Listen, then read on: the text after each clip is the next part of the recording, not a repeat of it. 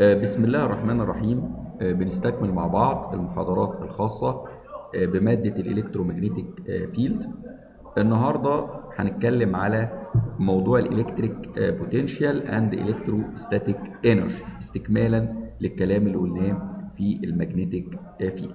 طبعا واحد أول ما يقرأ هذا العنوان يقول لك طب أنا ال electric potential دي درستها أو ال energy؟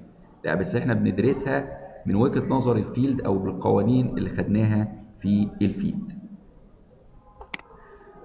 أول حاجة بنتكلم عنها ال work done and potential difference طبعا هنا زي ما إحنا شايفين في ال slide عندنا بيقول لك إن ال electric field عبارة عن as force field يعني قوة قوة المجال and hence ال work is associated يعني بيصحبها work يعني إحنا إحنا خدنا في ال lectures اللي فاتت إن ال electric field عبارة عن قوة بس على إيه؟ الشحنة بنقول في القوة دي على شحنة معينة صح؟ إنما ال electric field بنقول إنها هي عند نقطة. يعني لما بنحسب ال electric field بنحسبه عند نقطة إنما لما بنحسب ال force بنحسبه عن شحنة. ده الفارق الجوهري بين الاثنين أكيد أنت لامس هذا الفارق فبيقول لك هو يعني بيعتبر ال electric field هي قوة. آه طبعا قوة عند نقطة معينة. تمام؟ بالتالي لو أنا عندي قوة يبقى أنا عندي work ولا ما عنديش؟ من قوانين ال physics يبقى عندي شغل ولا ما عنديش؟ عندي مصحوب بحركة الشحنة في المجال. يبقى associated يعني مصحوبة بحركة الشحنة في المجال. بمعنى لو أنا عندي شحنة اختبار بتتحرك في اتجاه ال field فبيحصل إيه؟ بيجي لي work done في شغل مبذول by the field بهذا المجال. وبعد كده بيحصل إيه؟ هي. الشغل ده بيعمل لي إيه؟ بيعجل لي شحنة الاختبار دي. بيخليها إيه؟ تبقى إيه؟ تمشي بسرعة أعلى يعني بتبقى سرعة متغيرة مع الزمن. طب لو charge لو لو الشحنة بتتحرك ضد اتجاه المجال يعني افرض إن الشحنة بتتحرك ضد اتجاه المجال فهيجي external يعني حاجة خارجية بتمدني بطاقة عشان تتغلب على القوة المبذولة على الشحنة داخل المجال. طيب لو إحنا افترضنا إن الإزاحة بتاعة ال test charge Q آه الإزاحة دي قلنا إنها dL لو افترضنا إن الإزاحة اللي اتزاحتها الشحنة ال test charge آه داخل مسافة infinite distance آه نسميها dL هي بتتحرك من نقطة A لنقطة B زي ما هو موجود قدامي في السلايد من نقطة A لنقطة B بزاوية ألفا بتميل عن ال الاتجاه بتاع المجال يبقى أنا لو قلت إن أنا عندي شحنة اختبار بتتحرك من A إلى B في اتجاه معين بزاوية بتميل بزاوية عن اتجاه المجال الزاوية دي اسمها إيه؟ ألفا خلاص؟ the force القوة اللي بتبقى مبذولة على ال test charge على شحنة الاختبار دي بالمجال ليها magnitude كام؟ القوة بتبقى علاقتها بال electric field إيه يا جماعة قلنا؟ هي القوة زيادة عليها إيه؟ إنها مش عند نقطة عند إيه؟ شحنة يبقى هضرب في Q صح؟ مش المجال قوة المجال كانت Q 1 في Q 2 على مش عارف إيه 4 pi epsilon في R تربيع في متجه الوحدة صح ولا لأ؟ الثانية كانت إيه؟ Q واحدة. يبقى Q على لأن أنا بحسب عند نقطة إنما هنا بحسب عن شحنة فالشحنة باخدها معايا. فيبقى إذا ال force بتساوي Q في ال E وطبعا هنا ال E is directed along E its component يعني طبعا مركباتها along the line من A to B ممكن أكتبها Q في E في cosine الفا مش أنا ممكن إن أنا أنا مايل بزاوية الفا لما اكتبها في حساب المثلثات أقول E cosine الفا بدل ال E أقول E cosine الفا ده الاتجاه بتاع AB يعني اتجاه ال AB مش E cosine الفا يبقى بالتالي ال force بتاعي Q في E في cosine الفا يبقى لو الشحنة اتحركت من A to B الجهد الشغل المبذول الشغل المبذول بيساوي إيه؟ Q في ال E في cosine الفا في ال dL اللي بشيل ما هو؟ آه القوة في المسافة. القوه لوحدها Q في E في cosine الفا أضرب في المسافه اللي هي dL طب E في cosine الفا dL مش ده ال dot product magnitude ال E في magnitude ال dL يعني E dot dL صح؟ يعني E vector dot dL vector تساوي magnitude ال E في magnitude ال dL في cosine الفا ما أنا كاتب magnitude E في cosine الفا وال dL magnitude برضه. تمام؟ دي حتة من الشغل. كنا دايما ناخد حتة اسمها دي إيه؟ دي دبليو. طيب لو أنا كده ال dW is positive لو الألفا من 0 ل 90 التعويض. يعني أنت لو عوضت ب cosine من 0 ل 90 هيكون الدي دبليو بكام عندك؟ هتبقى موجبة. يبقى so that the work is done by the field. الشغل الشغل بيبقى بيتعمل عن طريق ال field. طب لو دي دبليو is negative. إمتى negative لو الألفا ما بين كام وكام؟ 90 ل 180 negative work يبقى في هنا negative شغل مبذول بالسالب. يبقى هو ده الشغل المبذول ب external against the field إن في شغل بيتبذل خارجي ضد المجال. دي لما قلت لك إن أنت في اتجاه عكس المجال. أهي بنفسره يبقى طيب ال total work done or the potential energy يعني أو نقول الطاقة الوضعية. المبذول أو ال required المطلوبه عشان تحرك لي ال Q من ال A لل B ضد المجال. عبارة عن إيه؟ هي دي اللي أنا عايز أعرفها. يبقى سالب عشان ضد المجال Q الشحنة هخرجها بره التكامل و E dot dL جوه التكامل بكامل ال E dot dL طبعا بكامل على طول ال length من A لل B.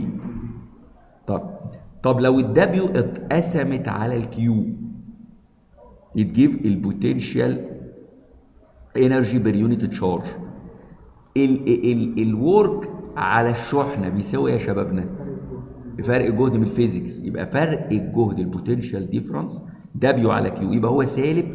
أشيل بس Q اللي بره دي. إيه تكامل A لل B E dot dL في مشكلة عندك؟ طب ال V AB بتقاس بايه بالجول per coulomb. في مشكلة عندك؟ في أي مشاكل؟ تمام. Example على الكلام الكلمتين الحلوين اللي إحنا لسه قايلينهم كده عايزين نشوف عليهم مثال. عندك electrostatic field is given by ان ال E بتساوي X على الاثنين زائد 2 Y في اتجاه ال X زائد 2 X في اتجاه ال Y يبقى ده المجال الايه؟ الكهربي ال electric field ال electrostatic field المطلوب يبقى أنت كده تنظم نفسك أنا مديك ال E طالب من سيادتك الشغل المبذول في moving في حركة إنك تحرك. ال point charge Q سالب 20 micro coulomb لازم أحركها منين لمنين. فهو قال لك في part A بحركها من ال origin من نقطة الأصل ل 4 و0 0 وفي ال part رقم B بيقول لي إن أنا بحركها من 4 0 0 ل 4 2 0 واضح هذا الكلام ولا لأ؟ طيب.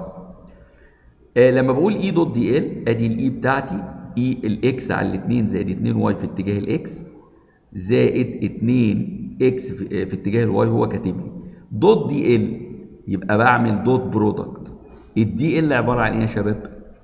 dX في اتجاه ال X زائد dY في اتجاه ال Y زائد dZ في اتجاه ال Z اضرب ضرب dot product يبقى كل component في اللي قصاد منه.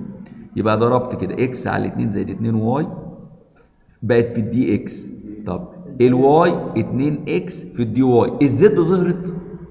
يبقى zero في dZ يبقى ما فيش Z. يبقى ال E dot dL اللي أنا جهزتها عشان أحطها في القانون بتاعي اللي أنا لسه إيه ذاكره في ال slide اللي فاتت.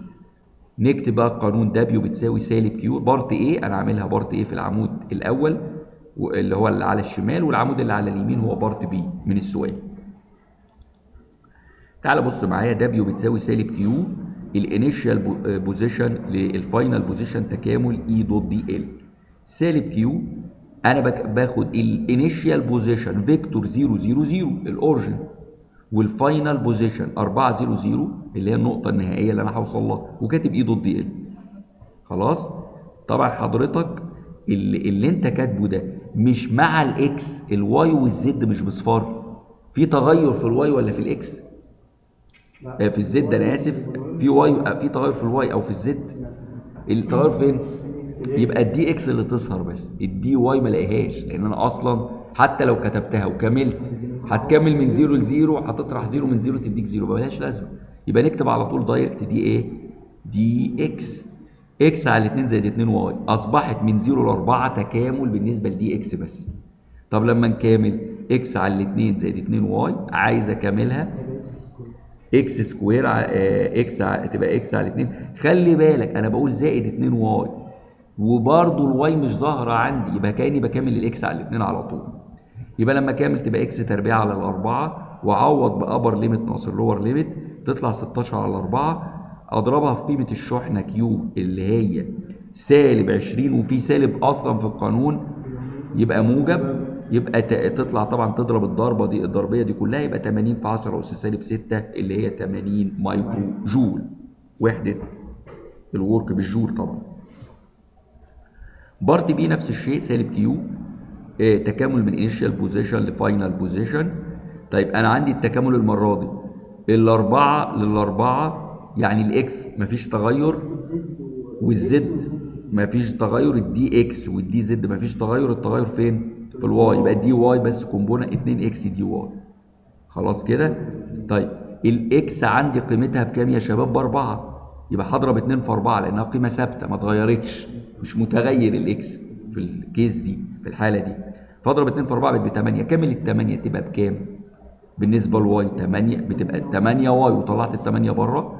upper limit ناقص lower limit يبقى 2 ناقص 0 ب 2 عوض بالقيم بتاعتك تطلع النتيجة ب 320 مايكرو جول. في مشكلة في ال example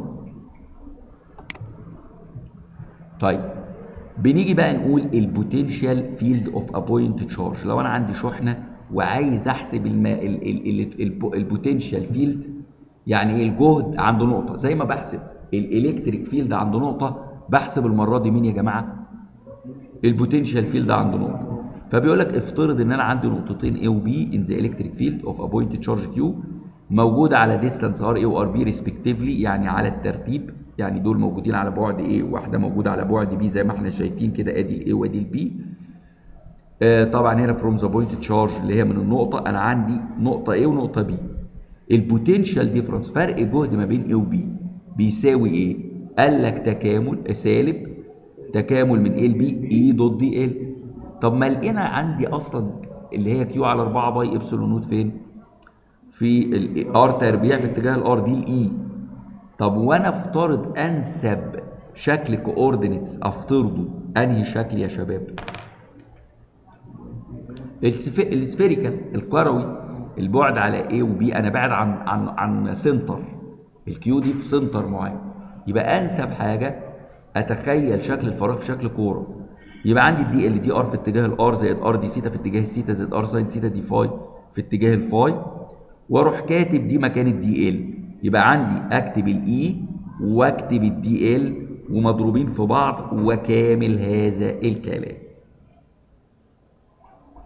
طبعا أنا لما أجي أكامل هقول Q على 4 pi. أنا عندي a R لما تتضرب dot product في a R الوحيدة اللي تظهر.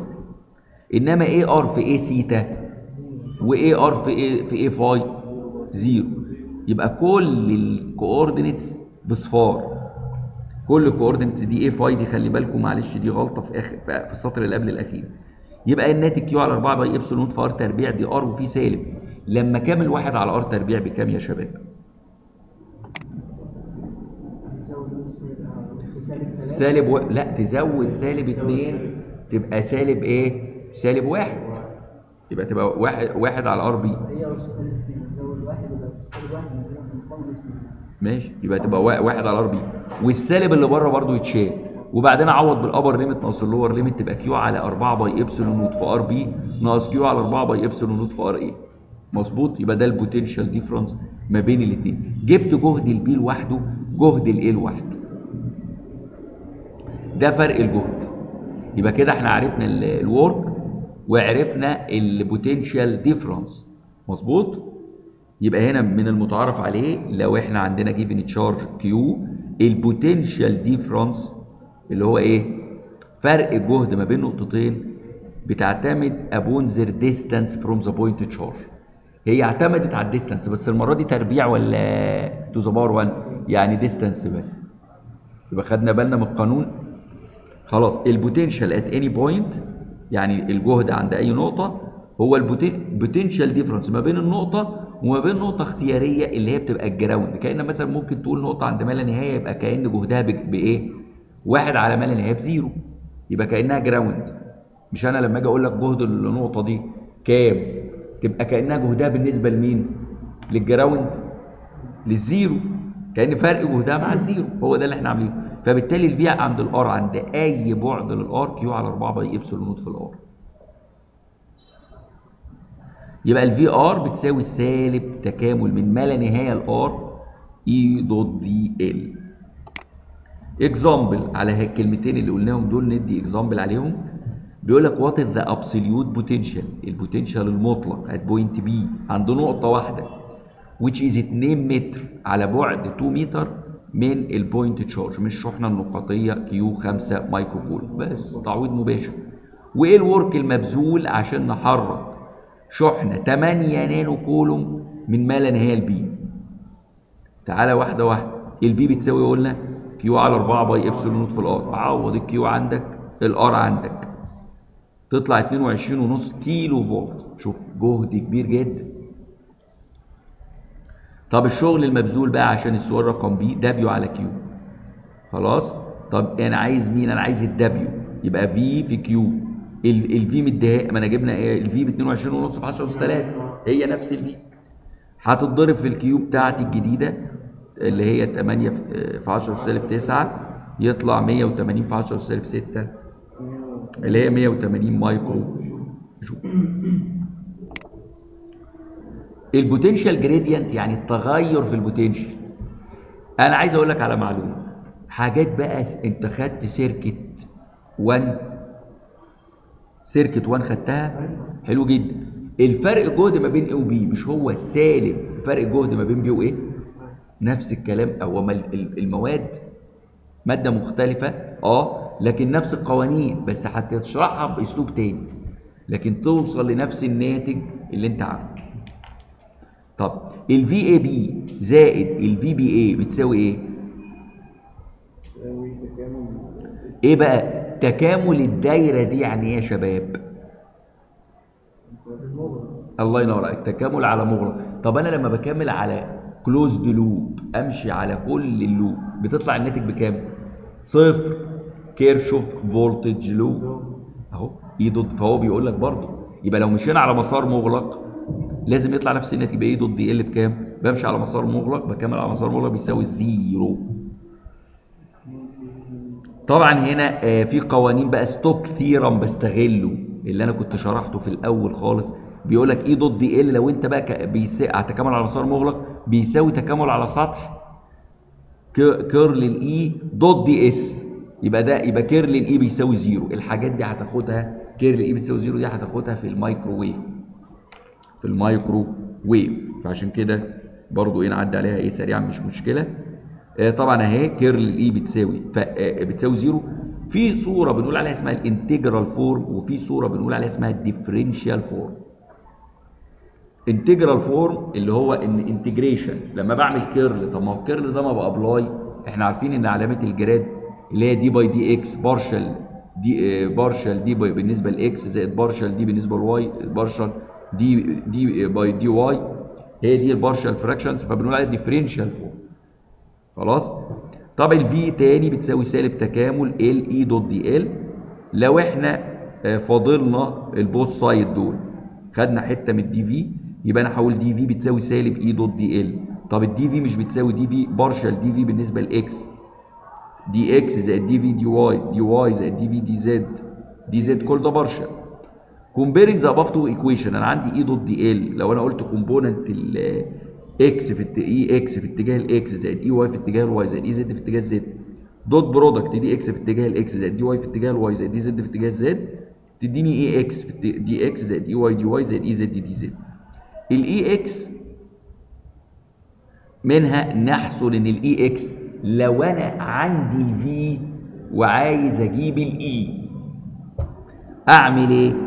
أفاضل ال component بتاع dV by dx partial V بالنسبة ل x وبعدين partial V بالنسبة ل y أجيب الاتجاه ال y partial V بالنسبة ل z أجيب المتجه ال z سؤال هي ال V كمية scalar ولا كمية vector ال V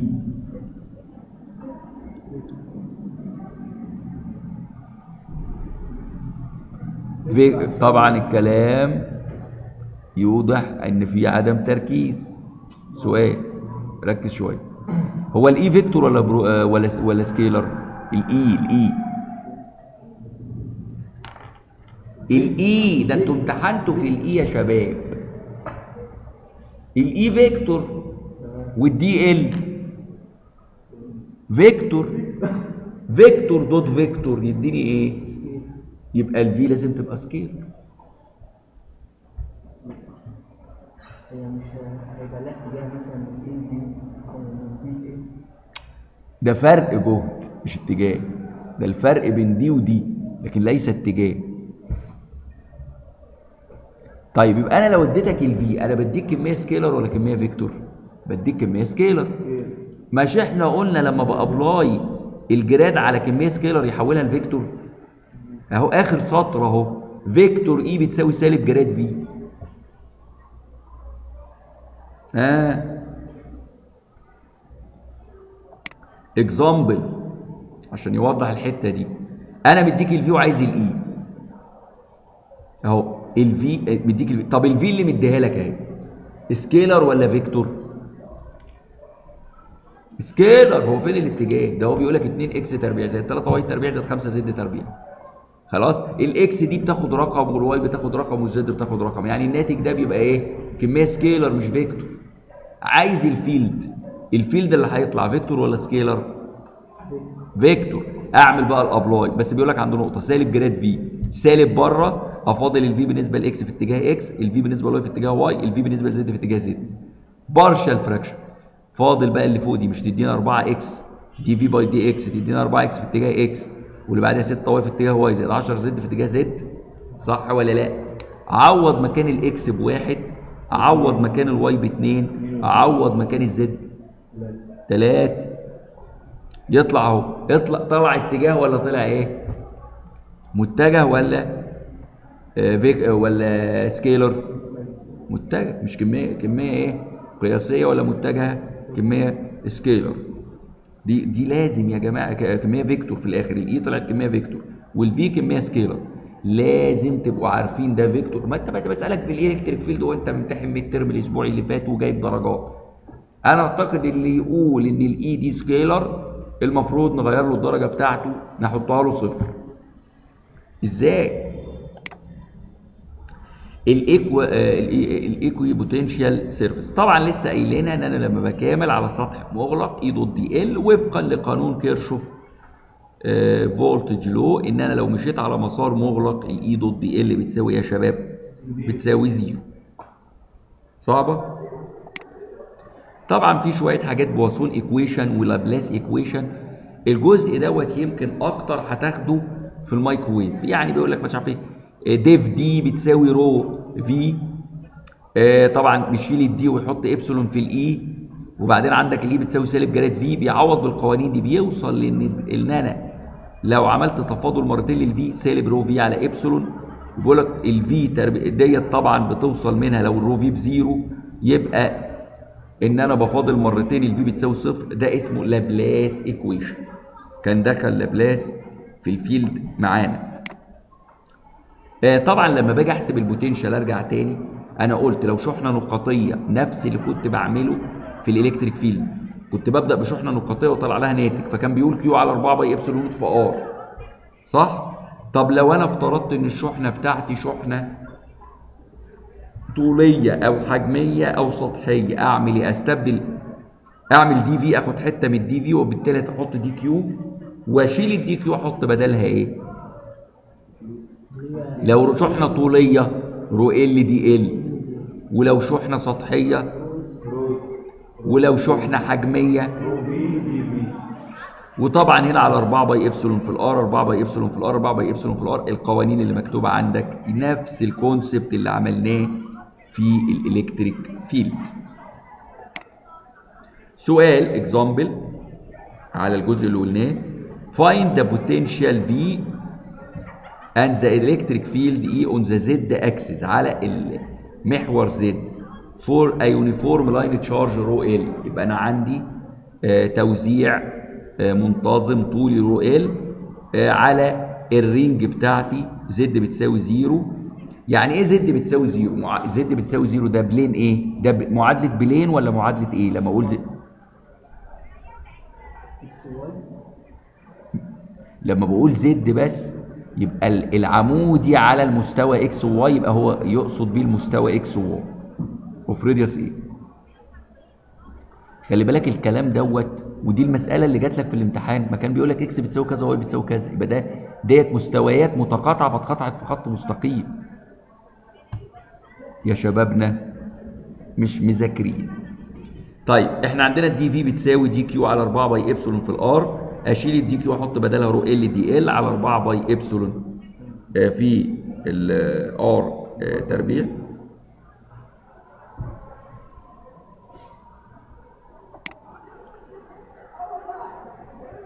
ال V في الصفحة اللي بعديها تكامل ال dV هي rho L dl على 4 pi epsilon في ال R. ال dl بتاعتي أنا ماشي على circular ring يبقى ال dl بإيه؟ ب R d phi اللي هي a d phi ال radius ب a أنا مفترضه في السؤال. طب ال R بتساوي إيه؟ نعم. هو ليه هنا في القانون كان كاتب فوق اللي هو ال- ال- ال rho L على dl rho L dl على 4 pi epsilon naught R تربيع. وتحت شايل تربيع اللي هو لما كان لا لا لا لا هي هي R بس دي غلطة. الآخر سطر لا rho L dl على 4 pi epsilon في ال R هي في R دي باينة قوي هي R بس. R بس. ما هي لو على R تربيع دي تبقى electric field آخر سطر ده فيه خطأ. R بس. يبقى rho L dl على 4 pi epsilon في ال R ال R بتساوي إيه؟ جذر فيثاغورس Z تربيع زائد a تربيع. ال V بقى بتساوي rho L في a على 4 pi epsilon جذر Z تربيع زائد a تربيع. التكامل بتاعي بتاع ال phi عشان ياخد ال circular ring من 0 ل 2 pi ال phi d phi تكاملها هتبقى ب phi أعوض بال upper limit ناقص ال lower limit يبقى ديت 2 pi أشطب ال 2 pi مع ال 4 pi اللي تحت وأحط 2 تحت تبقى rho L في ال a على 2 إبسلون جذر Z تربيع زائد a تربيع. طيب عايز أجيب ال E شفت بقى؟ سالب grad V طب ما أنا جبت مش إحنا جبنا مش إحنا جبنا ال V طب ما نجيب ال E طبعا أنا بتكلم على ال coordinates بتاعي cylindrical coordinates فيبقى المفروض إن أنا بقول grad V بتساوي. بفاضل بالنسبة ل R في اتجاه R زائد واحد على R dV dV بالنسبة ل phi في اتجاه phi زائد dV بالنسبة ل z a z يبقى ال E بتاعتي بتساوي إيه؟ أنا ما عنديش غير الاتجاه مين اللي متغير؟ اللي هو اتجاه إيه؟ اتجاه ال z بص في الصفحة اللي قبليها أنا نهايتي كانت z هي المتغير الوحيد اللي عندي. خلاص فأنا ده اللي بفاضل بالنسبة لي. فلما نيجي نتكلم بقى يبقى نفاضل بالنسبة ل z يبقى هيبقى الناتج طبعا انت بقى بتفاضل ده مسألة تفاضل لعبتك. هيبقى عندك إيه بقى؟ z تربيع زائد a تربيع؟ أس سالب نص. لما تنق... طبعا انت بتعمل إيه؟ بتنقص من الأس واحد وتفاضل ما بداخل القوس يعني تبقى سالب 3 على الاثنين وطبعا تفاضل ما بداخل القوس يعني آه، هيطلع في الآخر ال E بتساوي سالب rho L على 2 epsilon a؟ في سالب z على z تربيع زائد a تربيع أس 3 على الاثنين في اتجاه z. يبقى ال E بتساوي آخر قانون في البرواز rho L في a z على 2 إبسلون. افتح قوس. z تربيع زائد a تربيع to the power 3 على الاثنين في اتجاه ال z.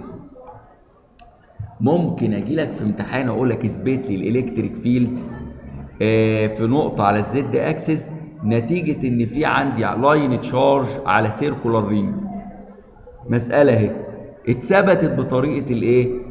ال potential جبنا ال potential الأول عند النقطة عن على الخط يعني عند النقطة اللي على الخط دوت اللي على الزد أكسس وبعدين عملنا إيه؟ رحنا جبنا منها ال E فشفت ده إثبات. ده حاجة. تقدر إنك أنت إيه؟ تستخدمها لأنها كانت صعبة علينا نجيبها مباشر بال E فجبناها بال V وبعدين جبناها بال E مفيش مشكلة. إحنا عملناهاش دي في. في كولوم ما عملناهاش صح؟ الجزئية دي ما عملناهاش شوف إحنا عملناها دلوقتي. يعني كله بي فكده يبقى أنا اديت ال... ال... البوت... فعرفنا ال work وعرفنا ال potential وال potential difference وعرفنا القوانين بتاعهم ومسائل عليهم و examples عليهم. الدور بقى عليك بعد كده إن شاء الله في إنك هتحل بقى ال sheet إن شاء الله في ال section آه، فيا ريت نذاكر ونتابع مع بعض ونسمع المحاضرة مرة واثنين لحد ما تثبت في الأسئلة. ماشي؟ أي أسئلة يا شباب؟ شكرا جزيلا.